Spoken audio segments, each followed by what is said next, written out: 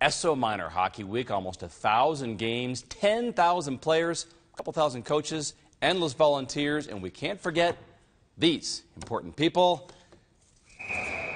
Yes, all the parents that make these games possible. The game we went to tonight, novice hockey, seven and eight year old Simons Valley versus Bow River in novice three action. This is Austin Sims for Simons Valley, splitting the D with a good chance. More from Simons Valley. Micah Leong. Very good. Simons Valley. Connor Antoniak on the breakaway. Bow Rivers Ethan Wiley comes up with a big pad save, but a scramble there.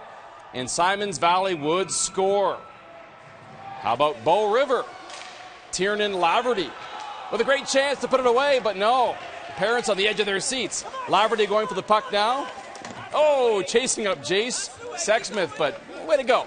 Way to go, kid. Going hard to the puck. Bow Rivers Christopher Kohlberg on the breakaway.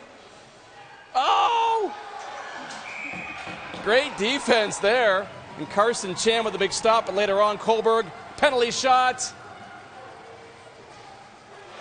You can hear the parents going crazy, but in the end, Simons Valley gets the win four to two. So Simons Valley off to the semifinals. All the kids have their moves down when they score, and uh, this weekend they'll be giving out a ton of gold medals across the city. One of the best weeks Very of hockey cool.